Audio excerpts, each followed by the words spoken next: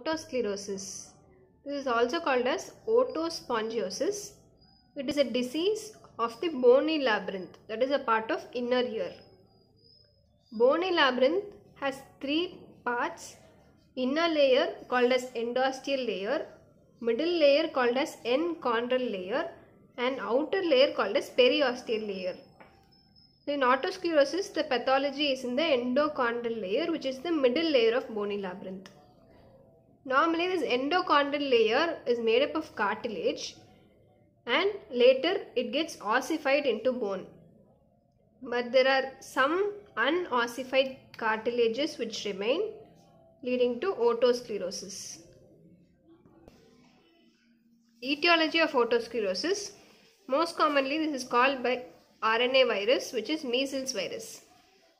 And on the anatomical basis the most common site is fistula ante fenestram.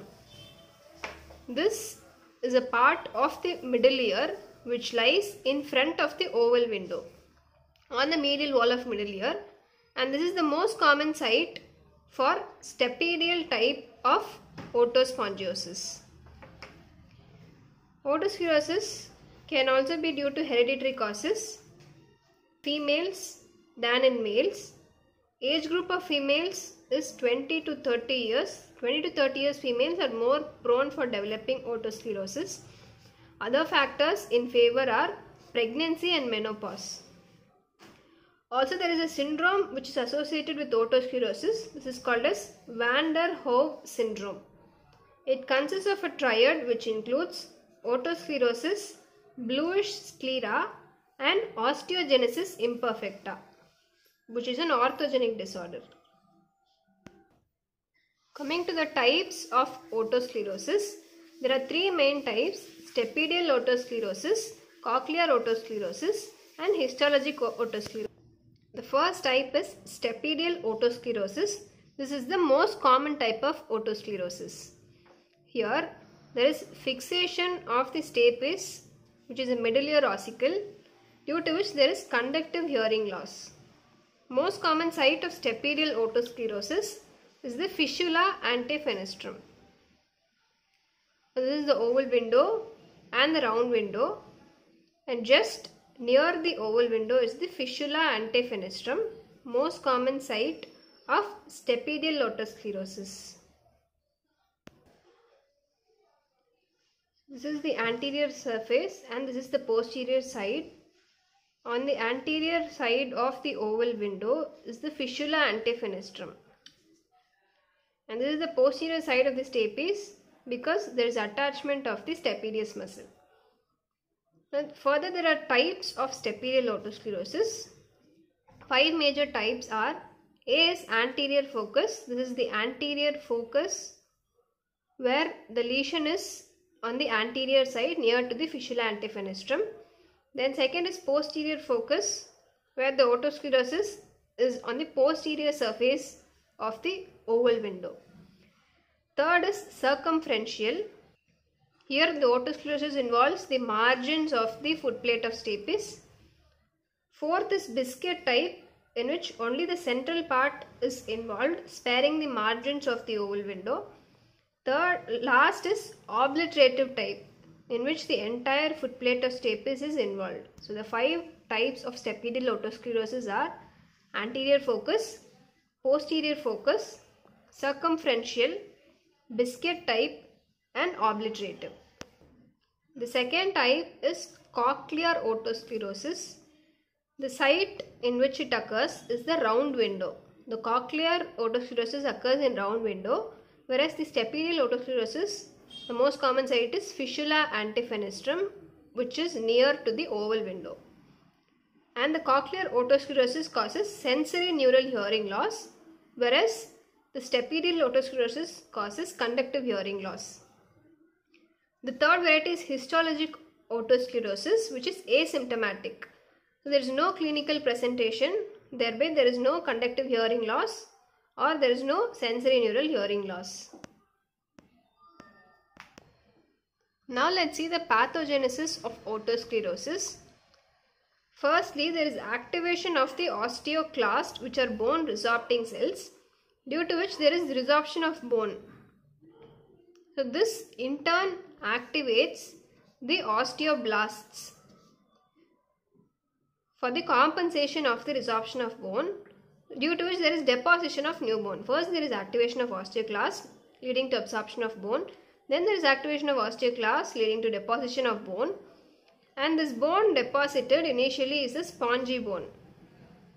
And this stage is called the first stage or the active stage of otospongiosis. Later, the spongy bone undergoes maturation to form sclerosed bone which is compact bone. This is the second stage of otosclerosis or passive stage of otosclerosis. Next are the symptoms of otosclerosis. The important symptom is hearing loss, which is the presenting symptom. This hearing loss is painless and progressive in nature, insidious in onset, and it could either be conductive hearing loss or sensory neural hearing loss. Conductive hearing loss when it is of stapedial type and sensory neural hearing loss when it is of cochlear type. The next symptom is paracusis Willisii which is paradoxical hearing. That is the patient hears better in the noisy environment. That is why this is called as paradoxical hearing, abnormal hearing. Other symptoms are tinnitus, vertigo and their speech will be monotonous and they have a soft speech. Next are the signs. The important sign is Schwartze sign in which there is reddish hue seen on the tympanic membrane. And this reddish hue is because of the active focus with increased vascularity. Next on tuning fork tests they show Rinne's test negative because there is bone conduction more than air conduction. And the Weber's test is lateralized to the more affected side because of conductive hearing loss. And the Schwabach's test can be either normal or increased. And the characteristic sign seen in otosclerosis is the presence of Carhart's notch. So this Carhart's notch is seen on the pure tone audiometry which is sudden dip at 2000 Hz in the bone conduction audiogram. So there is a sudden dip at the frequency of 2000 Hz in the bone conduction audiogram. This is called as Carhart's notch. Coming to the differential diagnosis of otosclerosis. So the otosclerosis has conductive hearing loss for which the differential diagnoses are serous otitis media, adhesive otitis media, tympanosclerosis, attic fixation of the head of malleus, congenital stapes fixation and ossicular discontinuity. Lastly, the treatment. Treatment could include both medical and surgical treatment. Medical treatment is by using sodium fluoride, which is done rarely and not much effective. So the surgical treatment includes stapedectomy or stapedotomy. This is the treatment of choice. Removal of a part of stapes is stapedectomy, whereas making a hole in the stapes is stapedotomy. Medical treatment drug of choice is sodium fluoride. The indication for which is during the active stage and for cochlear otosclerosis. Contraindications of using sodium fluoride is in the passive stage, pregnancy and lactation. Surgical management as we have seen is by stapedotomy or stapedectomy. The indication for which is the passive stage of otosclerosis. Contraindications for stapedectomy or stapedotomy are when it is the only hearing ear, active stage of the disease, extremes of age, too young or too old patient, when it is associated with Meniere's disease, when the patient works in noisy environment, pregnancy and persistent stapedial artery. So the contraindications are only hearing ear, active stage, extremes of age, associated Meniere's disease, when the patient works in noisy environment as it can cause vertigo, pregnancy and persistent stapedial artery.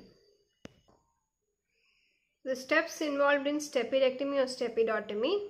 First we give a meatal incision and we perform elevation of the tympanomeatal flap and we expose the area of stapes and the, followed by removal of stapes suprastructure. And the next step is different for both stapedotomy and stapedectomy whereas these three steps are the same for both the procedures. In stapedotomy, the next step is we create a hole in the footplate of stapes that is, it is called as otomy, making a hole. Whereas in stapedectomy, we remove a part of footplate of the stapes. So this is called as ectomy. Ectomy means removal.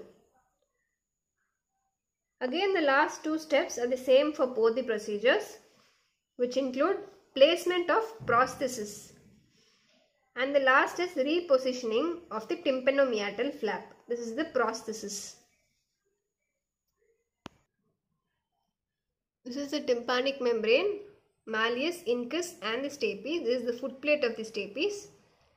So in stapedotomy, we make a hole in the footplate of stapes, drilling a hole in stapedial footplate. This is stapedotomy. Whereas in stapedectomy, we remove the stapes. So we remove the stapes and in both stapedectomy and stapedotomy, the next step is placement of prosthesis. Instead of stapes, we place a prosthesis. Complications of the surgical procedure for both stapedectomy and stapedotomy are incus dislocation, injury to the facial nerve, vertigo, perilymph fistula and conductive hearing loss can occur due to short prosthesis, loose prosthesis, displacement of the prosthesis or due to erosion of the incus. Also there can be sensory neural hearing loss and a very rare complication is dead ear. So another method of the treatment is using hearing aid. Hearing aid is used in patients who are unfit for surgery or for the patients who refuse surgery. This does not treat the condition but it only improves the hearing ability of the patient. This is all about otosclerosis also called as otospongiosis. Thank you.